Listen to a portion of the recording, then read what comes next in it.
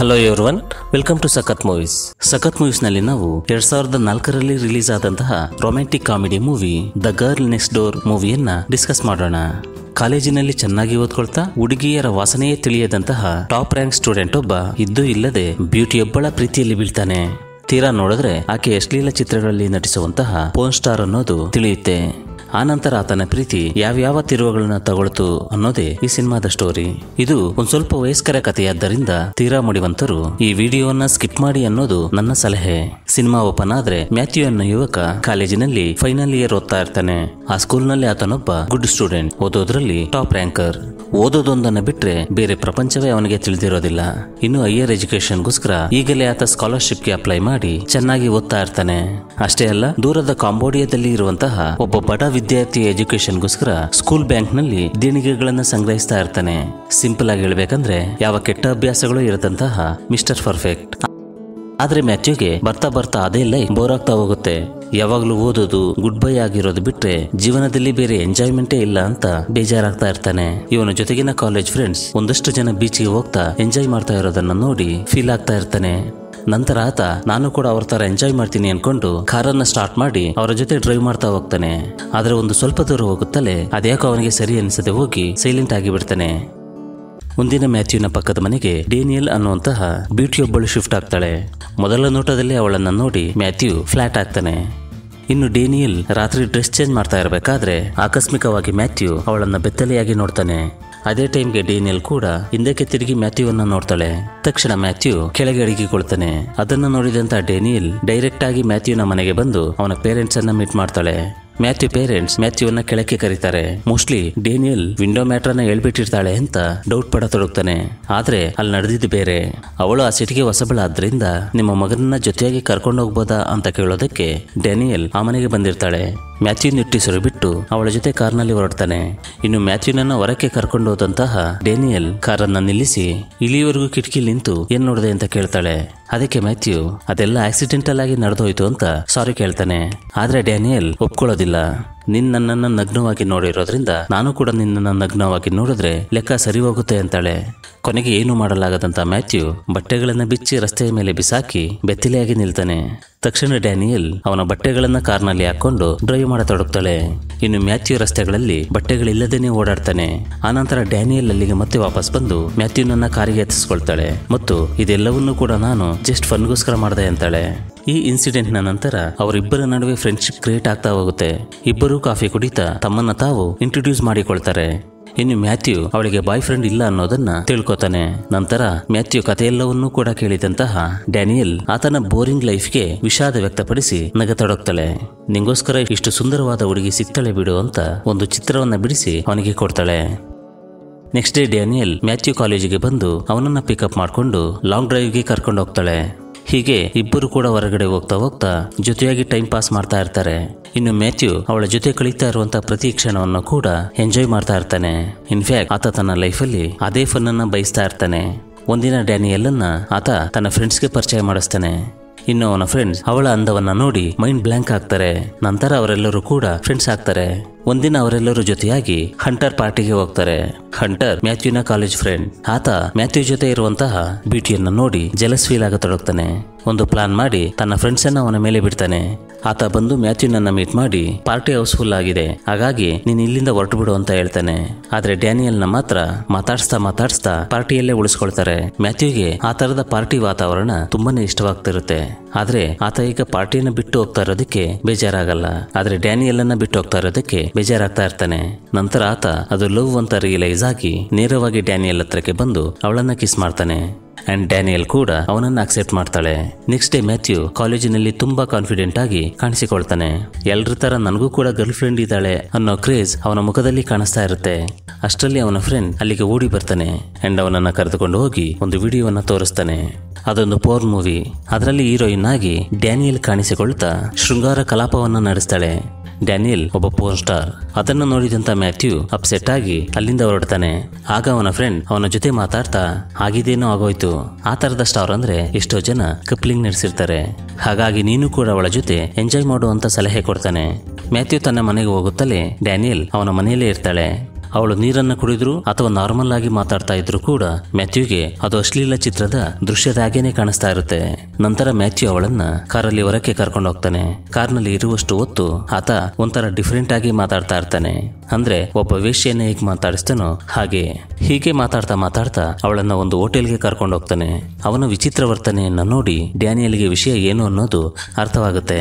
ತನ್ನೆಲ್ಲ ವಿಷಯವೂ ಕೂಡ ಅವನಿಗೆ ಗೊತ್ತಾಗಿ ಹೋಗಿದೆ ಅನ್ನೋದನ್ನ ಗೆಸ್ ಮಾಡ್ತಾಳೆ. ಹೋಟೆಲ್ ರೂಮ್ಗೆ ಹೋದ ತಕ್ಷಣ ಡ್ಯಾನಿಯಲ್ ಬಟ್ಟೆಗಳನ್ನ ಕಳಚಿ ಕಮಾನ್ ಅಂತಾಳೆ. ಎಲ್ಲರ ತರ ನೀನು ಕೂಡ ನನ್ನಿಂದ ಇದನ್ನೇ ತಾನೇ ಎಕ್ಸ್ಪೆಕ್ಟ್ ಮಾಡ್ತಿದೀಯಾ ಅಂತ ಹೇಳ್ತಾಳೆ. ಇದರಿಂದಾಗಿ ಮ್ಯಾಥ್ಯೂ ಗಿಲ್ಟಿ ಫೀಲ್ ಆಗ್ತಾನೆ. ನಂತರ ಡ್ಯಾನಿಯಲ್ ಅಳ್ತಾ ಅಲ್ಲಿಂದ ಹೋಗ್ತಾ ಇರಬೇಕಾದ್ರೆ ಆತ ಅವಳಿಗೆ ಸಾರಿ ಹೇಳ್ತಾನೆ. ಆಗ ಡ್ಯಾನಿಯಲ್ ಹೇಳ್ತಾಳೆ, ನನ್ನನ್ನ ನಂತರ ಇಷ್ಟಪಟ್ಟಿದ್ದಕ್ಕೆ ನಾನು ನಿನ್ನನ್ನ ಪ್ರೀತಿಸಿದೆ. ಆದ್ರೆ ನೀನು ಕೂಡ ಎಲ್ಲರ ತರನೇ ಅಂತ ತುಂಬಾ ನೋವಿನಿಂದ ಹೇಳಿ ಅಲ್ಲಿಂದ ಹೊರಟು ಹೋಗ್ತಾಳೆ. ಸೀನ್ ಕಟ್ಟಾದ್ರೆ ಮ್ಯಾಥ್ಯೂ ಆ ದಿನದಿಂದ ತುಂಬಾ ಡಲ್ ಆಗಿ ಇರ್ತಾನೆ. ಡ್ಯಾನಿಯಲ್ ಅನ್ನ ತುಂಬಾ ಮಿಸ್ ಆಗ್ತಾ ಇರ್ತಾನೆ. ನಂತರ ಇರೋದಕ್ಕಾಗದೆ ಸೀದಾ ಅವಳ ಮನೆಗೆ ಹೋಗ್ತಾನೆ. ಇನ್ನು ಡ್ಯಾನಿಯಲ್ ಕೂಡ ಮ್ಯಾಥ್ಯೂನಿಂದಾಗಿ ತುಂಬಾ ಡಲ್ ಆಗಿರ್ತಾಳೆ ಮ್ಯಾಥ್ಯೂ ಅವಳಿಗೆ ಸಾರಿ ಹೇಳ್ತಾ ತನ್ನ ಮನಸ್ಸಿನ ಮಾತುಗಳನ್ನೆಲ್ಲ ಅವಳ ಹತ್ರ ಹೇಳ್ಕೊಳ್ತಾ ಇರ್ತಾನೆ. ಆದ್ರೆ ಅಷ್ಟರಲ್ಲಾಗ್ಲೇ ಲೇಟ್ ಆಗಿ ಹೋಗಿರುತ್ತೆ. ಯಾಕಂದ್ರೆ ಡ್ಯಾನಿಯಲ್ ಮತ್ತೆ ತನ್ನ ಪ್ರೊಫೆಷನ್ಗೆ ವಾಪಸ್ ಹೋಗಿರ್ತಾಳೆ. ಆಲ್ರೆಡಿ ಒಂದು ಸಿನಿಮಾದ ಪ್ಲಾನಿಂಗ್ನಲ್ಲಿ ಇರ್ತಾಳೆ. ಇನ್ನು ಆ ಸಿನಿಮಾದ ಪ್ರೊಡ್ಯೂಸರ್ ಕೆಲ್ಲಿ ಕೂಡ ಅಲ್ಲೇ ಇರ್ತಾನೆ. ಆತ ಒಳಗಿನಿಂದಲೇ ಮ್ಯಾಥ್ಯೂನ ಮಾತುಗಳಿಂದ ಅವನ ಪ್ರೀತಿಯನ್ನ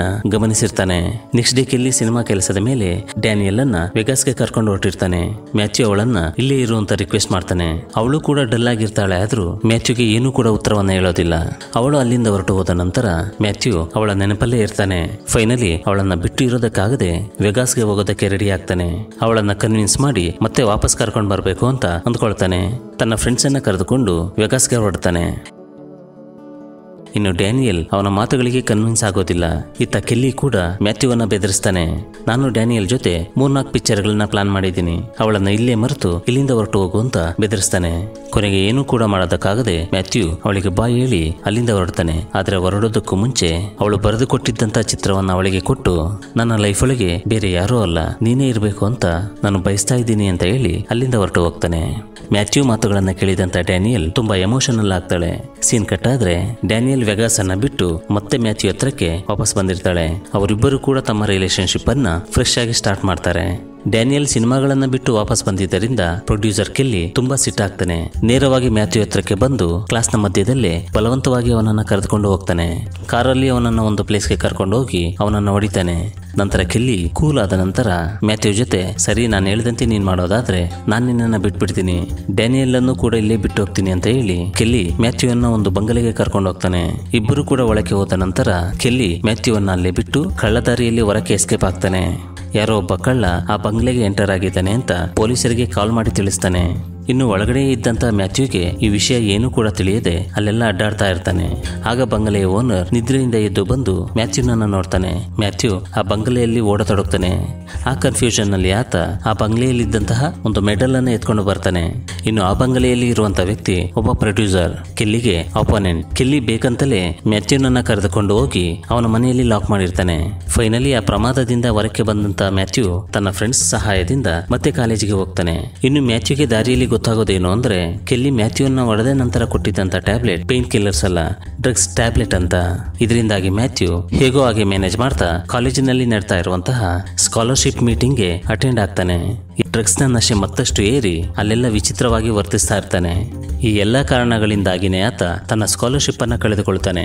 ನೆಕ್ಸ್ಟ್ ಡೇ ಮೂಡ್ ಆಫ್ನಲ್ಲಿ ಇದ್ದಂತಹ ಮ್ಯಾಥ್ಯೂಗೆ ಮತ್ತೊಂದು ಶಾಕ್ ಎದುರಾಗುತ್ತೆ. ಕಾಂಬೋಡಿಯಾದ ಬಡ ವಿದ್ಯಾರ್ಥಿಯ ಎಜುಕೇಶನ್ಗಂತ ಕಾಲೇಜಿನಲ್ಲಿ ಸಂಗ್ರಹಿಸಿದ್ದಂಥ ದೇಣಿಗೆ ಎಲ್ಲವನ್ನೂ ಕೂಡ ಸ್ಟೂಡೆಂಟ್ಸ್ ಬ್ಯಾಂಕ್ನಿಂದ ಕಿಲ್ಲಿ ಎಗರಿಸಿರ್ತಾನೆ. ಮ್ಯಾಥ್ಯೂ ರಿಲೇಷನ್ ಅಂತ ಹೇಳಿ ಅವನಿಗೆ ಗೊತ್ತಾಗದೆ ಎಲ್ಲ ದುಡ್ಡನ್ನ ತೆಗೆದುಕೊಂಡು ಹೋಗಿರ್ತಾನೆ. ಆ ದುಡ್ಡೆಲ್ಲವನ್ನು ಕೂಡ ಮತ್ತೆ ಅಕೌಂಟ್ಗೆ ಹಾಕದೆ ಹೋದ್ರೆ ನಿನ್ನನ್ನು ಕಾಲೇಜಿನಿಂದ ಡಿಸ್ಮಿಸ್ ಮಾಡಲಾಗುತ್ತೆ ಅಂತ ಕಾಲೇಜಲ್ಲಿ ಫೈನಲ್ ವಾರ್ನ್ ಮಾಡ್ತಾರೆ. ಇದರಿಂದಾಗಿ ಮುಂದೆ ಏನು ಮಾಡೋದೋ ಏನೋ ಅಂತ ಗೊತ್ತಾಗದಂತ ಮ್ಯಾಥ್ಯೂ ಎಲ್ಲವನ್ನೂ ಕೂಡ ತನ್ನ ಫ್ರೆಂಡ್ಸ್ ಹತ್ರ ಹೇಳ್ಕೊಳ್ತಾನೆ. ಫ್ರೆಂಡ್ಸ್ನ ಜೊತೆ ಡ್ಯಾನಿಯಲ್ ಕೂಡ ಮ್ಯಾಥ್ಯೂಗೆ ಹೆಲ್ಪ್ ಮಾಡೋದಕ್ಕೆ ಜೊತೆಯಾಗ್ತಾಳೆ.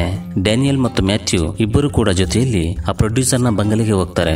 ಮ್ಯಾಥ್ಯೂ ಎತ್ಕೊಂಡು ಬಂದಿದ್ದಂತಹ ಮೆಡಲ್ ಅನ್ನ ಆ ಪ್ರೊಡ್ಯೂಸರ್ಗೆ ವಾಪಸ್ ಕೊಟ್ಟು ಅವನ ಜೊತೆ ಒಂದು ಅಗ್ರಿಮೆಂಟ್ ಅನ್ನ ಮಾಡ್ಕೊಳ್ತಾರೆ. ಇಲ್ಲಿಯವರೆಗೂ ಯಾರು ಕೂಡ ಮಾಡದಂತಹ ಒಂದು ಶೃಂಗಾರದ ಚಿತ್ರವನ್ನ, ಒಂದು ಪೋರ್ನ್ ಚಿತ್ರವನ್ನ ನಾವು ರೆಡಿ ಮಾಡ್ತೀವಿ ಅಂತ ಹೇಳ್ತಾರೆ. ನೀವು ಹೇಳಿದ್ದನ್ನ ಮಾಡಿದ್ದೆ ಆದ್ರೆ ನಾನು ನಿಮಗೆ ಟ್ವೆಂಟಿ ಫೈವ್ ತೌಸಂಡ್ ಡಾಲರ್ ಕೊಡ್ತೀನಿ ಅಂತ ಹೇಳ್ತಾನೆ ಆ ಪ್ರೊಡ್ಯೂಸರ್ ಸೀನ್ ಕಟ್ ಆದ್ರೆ ಶೃಂಗಾರ ಚಿತ್ರಗಳಲ್ಲಿ ಆಕ್ಟ್ ಮಾಡ್ತಾ ಇದ್ದಂತಹ ತನ್ನ ಇಬ್ಬರು ಫ್ರೆಂಡ್ಸ್ ಅನ್ನ ಡ್ಯಾನಿಯಲ್ ಮ್ಯಾಥ್ಯೂನ ಫ್ರೆಂಡ್ಸ್ಗೆ ಇಂಟ್ರೊಡ್ಯೂಸ್ ಮಾಡಿಸ್ತಾಳೆ. ಅವರಿಬ್ಬರನ್ನ ನೋಡುತ್ತಲೇ ಮ್ಯಾಥ್ಯೂ ಫ್ರೆಂಡ್ಸ್ ಶೃಂಗಾರದ ಕನಸಲ್ಲಿ ಕಂಗಾಲಾಗ್ತಾರೆ ನಂತರ ಎಲ್ಲರೂ ಕೂಡ ಜೊತೆಯಾಗಿ ಕಾಲೇಜಿನಲ್ಲಿ ನಡೆಯುವಂತಹ ಸ್ಪೆಷಲ್ ನೈಟ್ಗೆ ಅಟೆಂಡ್ ಆಗ್ತಾರೆ. ಸಿನಿಮಾ ಶೂಟ್ ಮಾಡುವಂತ ಜವಾಬ್ದಾರಿಯನ್ನ ಇಲ್ಲಿಗೆ ಕೊಡ್ತಾರೆ. ಯಾಕಂದ್ರೆ ಇಲ್ಲಿಗೆ ಮೊದಲಿನಿಂದಲೂ ಕೂಡ ಸಿನಿಮಾ ಡೈರೆಕ್ಟರ್ ಆಗ್ಬೇಕನ್ನುವಂತಹ ಡ್ರೀಮ್ ಇರುತ್ತೆ. ಹೀಗಾಗಿ ಆತ ಅವರು ಶೂಟ್ ಮಾಡೋ ಸಿನಿಮಾಗೆ ಡೈರೆಕ್ಟರ್ ಆಗ್ತಾನೆ. ಇನ್ನು ಅದೇ ಪಾರ್ಟಿಯಲ್ಲಿ ಹಂಟರ್ ಬ್ಯಾಚ್ ಇರುತ್ತೆ. ಅವರೆಲ್ಲರಿಗೂ ಕೂಡ ಮ್ಯಾಥ್ಯೂ ಅವರನ್ನ ದೊಡ್ಡ ಸ್ಟಾರ್ಗಳನ್ನಾಗಿ ಮಾಡ್ತೀನಿ ಅಂತ ಹೇಳಿ ಅಲ್ಲಿದ್ದ ಒಂದು ರೂಮ್ನೊಳಕ್ಕೆ ತಳ್ಳಿಬಿಡ್ತಾರೆ. ಇನ್ನು ಆತುರದಲ್ಲಿ ಇದ್ದಂತ ಆ ಬ್ಯಾಚ್ ರೂಮ್ನಲ್ಲಿದ್ದಂತಹ ಪೋನ್ ಸ್ಟಾರ್ಗಳನ್ನು ನೋಡಿ ಮತ್ತಷ್ಟು ಎಕ್ಸೈಟ್ ಆಗ್ತಾರೆ.